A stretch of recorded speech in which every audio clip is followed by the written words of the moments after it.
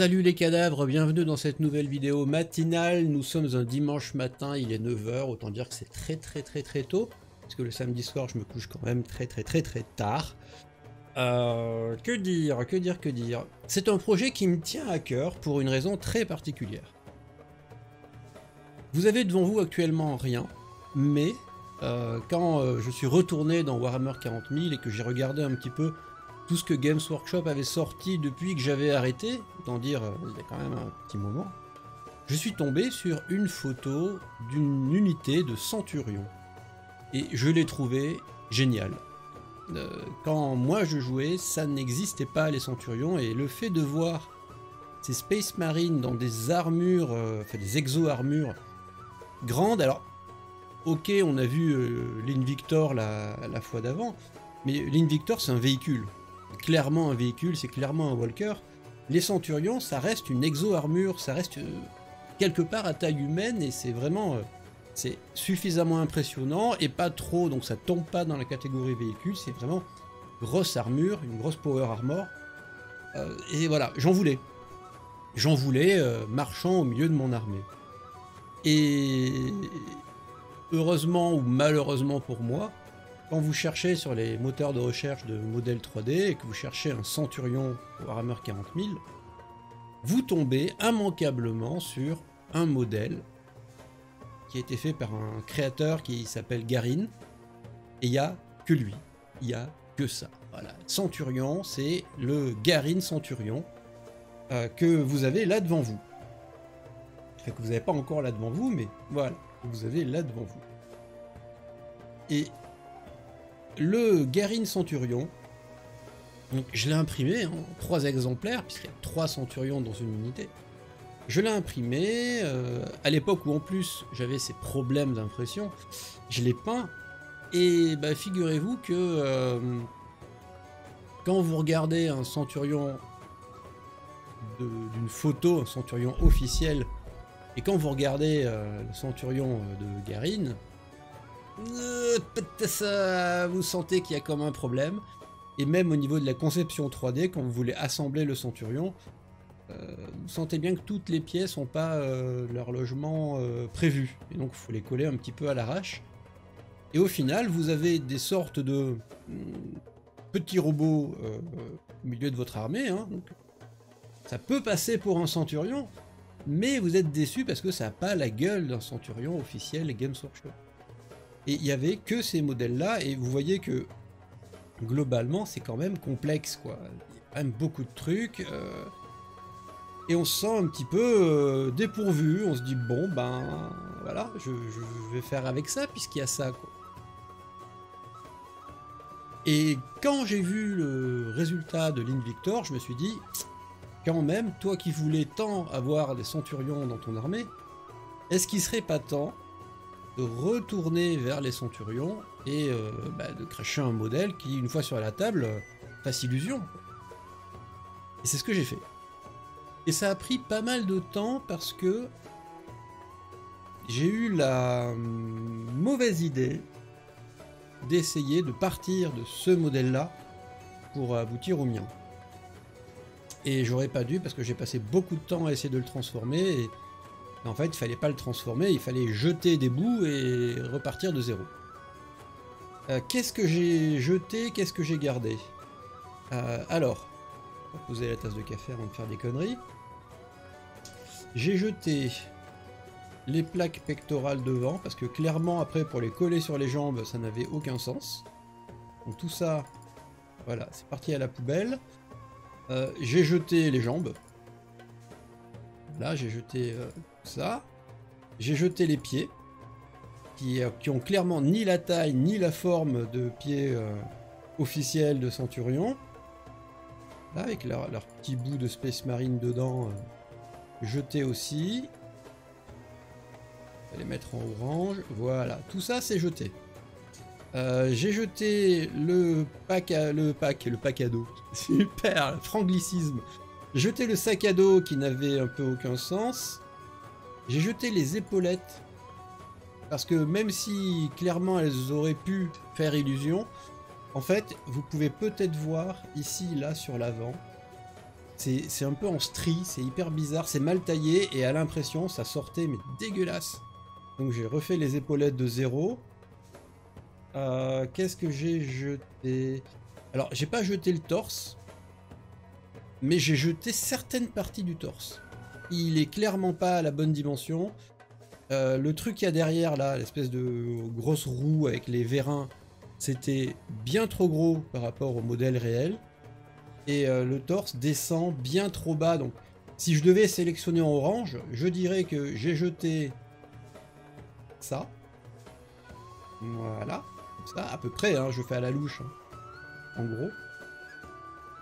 Et j'ai jeté ça. Voilà.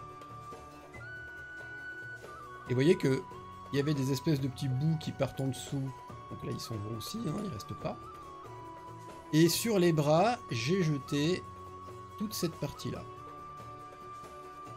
Qui, euh, clairement, normalement, j'aurais dû garder parce qu'elle est, elle est un peu, c'est un, vérin pour activer les bras, donc elle aurait trouvé sa place sur, sur mon modèle. Hein. Mais à l'impression, ça compliquait plus que ça n'apportait euh, au modèle, et du coup, le fait de l'avoir viré simplifie beaucoup les choses et on n'y perd pas grand chose. Très honnêtement, euh, c'est pas un souci pour moi, je l'assume tout à fait. Voilà. Voilà ce que j'ai viré. Voilà, en gros à la louche. Voilà. Et bon, le socle n'a rien à voir. Euh, j'ai gardé donc, euh, on va dire, le bassin, mais encore je l'ai gardé pour qu'il serve de base de support. J'ai gardé les bras parce que ma foi, j'étais pas trop mal. Alors je les ai un petit peu retouchés, hein, euh, évidemment. J'ai gardé la base du torse, mais je l'ai quand même pas mal nettoyé. Et si je devais rajouter, j'ai aussi viré tout ça là, parce que franchement c'est super mal taillé, c'est absolument pas plane. J'ai viré complètement l'intérieur ici, pour le remplacer par quelque chose de bien plus net. En toute honnêteté, voilà, ça ressemble à ça. J'ai juste gardé la plaque pectorale euh, les épaules et l'espèce de tuyau ici qui, ma foi, était très bien. Et c'est tout. Et on a refait tout le reste. Voilà mon modèle une fois terminé. Et qu'on n'est pas, euh, n'est pas sur la même euh, soupe. c'est pas le même délire. Si on regarde de plus près, les épaulettes se ressemblent, mais je leur ai donné beaucoup plus de bordure pour une histoire de peinture, hein, pour que tu accroches bien la peinture, qu'on puisse faire des reliefs, des linings, etc. J'aurais donné plus de bordure. La courbure est à peu près la même. Et euh, j'ai fait, euh, alors de mémoire, j'ai dû en faire 6 ou 7 types d'épaulettes différentes avec les marques de chapitres, des crânes, des lauriers, enfin, vous pourrez trouver euh, les épaulettes à votre goût. J'en ai aussi fait des vidées, évidemment, pour que vous puissiez faire ce que vous voulez dessus. Vous voyez qu'on reconnaît le torse, un petit peu, hein, on reconnaît la base, sauf que moi j'ai mis des lance-missiles à l'intérieur. J'ai mis un aigle sur le devant. Euh, j'ai été choper une tête de Space Marine avec une crête et je l'ai bien transformée par rapport à ce qu'elle était d'origine pour que ça rentre plutôt bien. Le problème avec les têtes euh, assez classiques, c'est que le modèle est quand même trapu. Et si vous mettez une tête à dimension réelle, bah, elle fait un peu petite quand même. Donc euh, c'est pas tellement qu'il faut grossir la tête, parce que sinon elle fait absolument pas à l'échelle, mais il faut la doter d'ornements qui fassent qu'elle prenne plus de place. Typiquement, la crête est un peu plus haute. Vous voyez qu'il y a une espèce de bosse sur la tête, il y a une espèce de gemme sur le devant, et du coup, ça fait que la tête garde au niveau des yeux et de la bouche la même échelle, mais prend du volume. Et donc ça occupe un peu plus, ça fait moins rikiki. Les bras, qu'est-ce qui s'est passé avec les bras Bah, un, je les ai ouverts. Vous voyez que le, bras classique, il est droit. Du coup, ça fait vraiment robot. Euh, je les ai refaits de façon à ce que le bras, entre l'axe de l'épaule et l'axe de l'avant-bras, il y a à peu près 25-30 euh, degrés, ce qui est un peu plus humain comme position. Du coup, j'ai redessiné le rouage à l'intérieur parce qu'il avait un petit peu disparu et on le voit il y a un angle de vision qui tombe sur le, creux du coude, donc vaut mieux qu'il soit un peu habillé et pas tout lisse. Ça renforce l'idée que tout, est tout à fait normal et cohérent. Euh, au niveau du laser, euh, c'est le même que celui d'origine, mais un, il n'est pas collé au bras, il s'imprime à part, et deux, il s'imprime en deux bouts. Il y a le corps du laser, il y a le canon du laser. Alors pourquoi en deux bouts Parce que le canon, j'aime bien l'imprimer tout droit, comme ça il est bien net. Et le corps, du coup, je l'imprime à 180 degrés, comme ça la partie dégueulasse, elle se colle sous le bras. Et comme le bras, lui, est imprimé droit, ça fait que les deux parties dégueulasses se collent entre elles, et du coup on les voit pas. Le bras arrive à tenir tout droit imprimé, fait qu'il est vraiment nickel de tous les côtés. Vous voyez que dans le creux du bras, normalement il n'y avait rien, j'ai rajouté une, manette pour tenir le laser et pour le diriger. Au départ, le dessus était plat, mais ça faisait, ça vraiment bizarre, ça faisait vraiment plastique imprimé. Donc du coup, j'ai bricolé une forme un petit peu sympathique euh, qui rend assez bien et qui permet de faire des petits effets du lining à la peinture. Il y a donc deux manettes pour manier les lasers.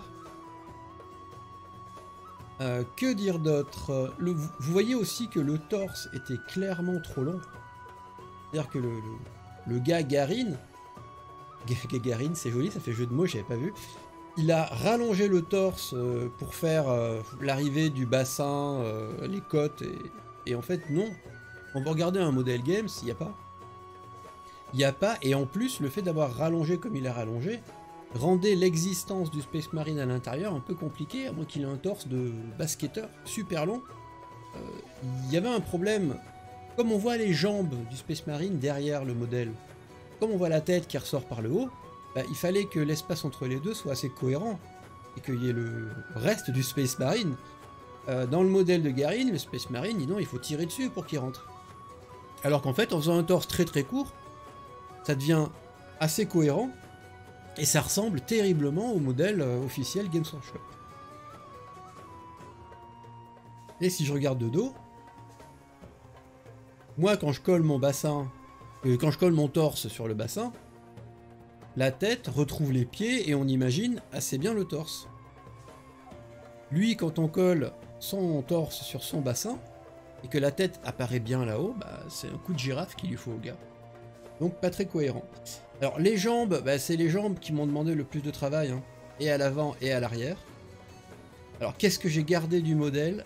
Alors réellement, réellement, hein, j'ai gardé l'espèce de petit vérin qui est là, et encore, gardé, euh, même pas.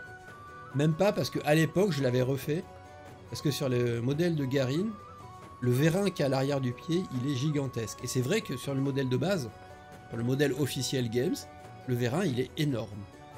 Et je trouve ça, un, difficile à imprimer, et deux, extrêmement laid. Donc j'avais moi-même refait des tout petits vérins, qui finalement vont très bien. Donc je les ai récupérés du vieux modèle que j'avais trafiqué, pour les mettre sur le nouveau. Sinon, tout le reste est refait. Car le Space Marine est refait, euh, les plaques sont refaites, les pieds sont refaits. Ça a été très long, ça m'a pris une heure pour refaire les pieds. Euh, mais bon, ils, ont, plus une gueule de pied de Centurion qu'ils ne l'avaient. Vous voyez, avant, euh, bon sang quoi, il, fallait vraiment avoir beaucoup d'imagination pour voir un pied de Centurion. Maintenant, euh, voilà, on comprend, on capte. Et le reste des pieds, alors ça a été un long combat. Ça a été un très long combat. D'abord, j'ai essayé à partir de rien, c'est assez compliqué. J'ai essayé à partir du modèle de base, c'était impossible. Au final, je suis allé récupérer des, morceaux de mecha, de mecha euh, de manga hein, divers et variés. Je me suis fait euh, une boîte pleine de morceaux de mecha et j'ai regardé dans tous ces mechas qu'est-ce que je pouvais utiliser qui était euh, transformable, cohérent et qui aurait, bien convenu.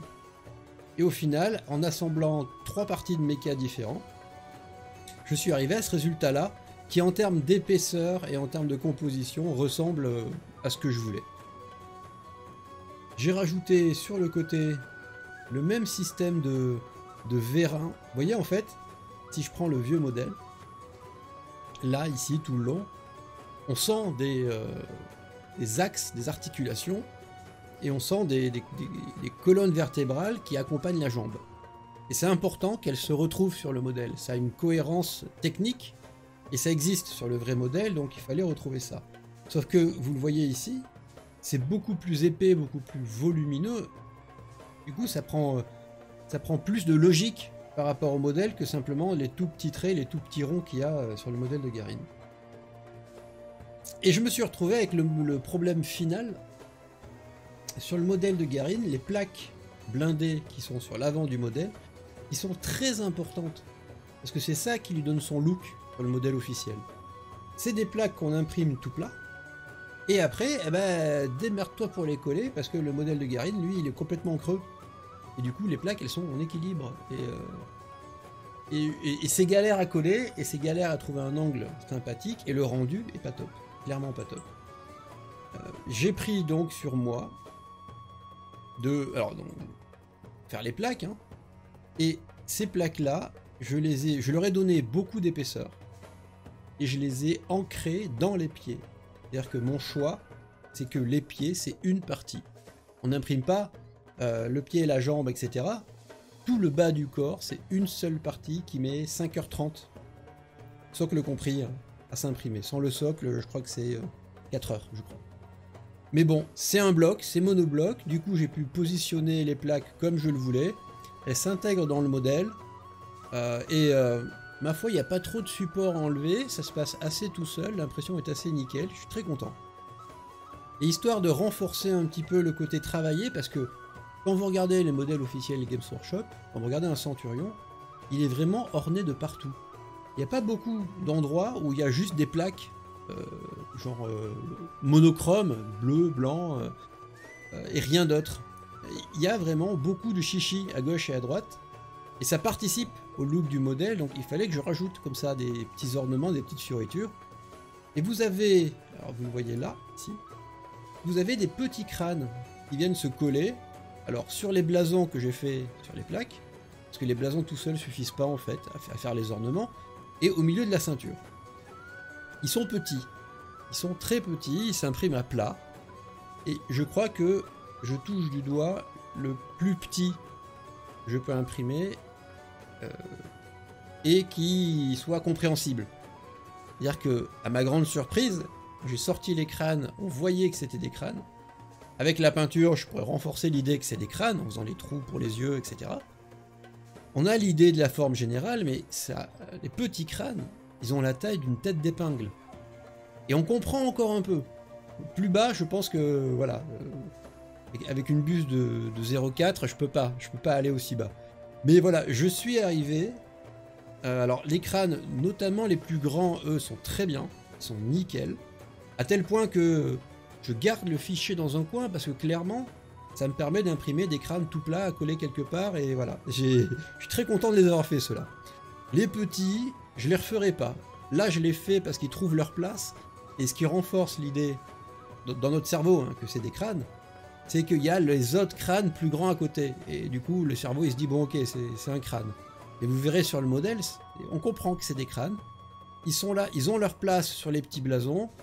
Euh, tout trouve sa place, ça renforce encore plus le côté travaillé des, jambes.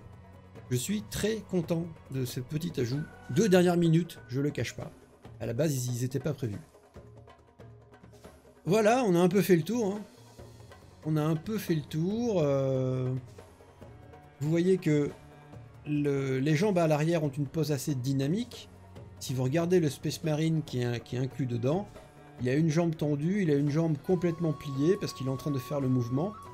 Et quand vous regardez euh, beaucoup de centurions où les concepteurs ont essayé de faire des poses dynamiques, ils ont eu euh, le tort, je vais dire, ils ont eu le tort de vouloir faire en sorte que le pied suive la jambe. C'est-à-dire que quand ils ont replié une jambe, ils ont mis le pied derrière, replié comme ça comme si le centurion soulevait son pied. Vu que c'est un robot, vu qu'il y a des vérins partout, il me semblait plus logique que quand le Space Marine soulève la jambe du centurion, ben le pied, il, il garde une position plate et qu'en fait il y a un système de vérins qui s'étire fait que le pied n'a pas à être soulevé, le pied n'a pas à prendre un angle de 90 degrés, le pied il va simplement se reposer à plat.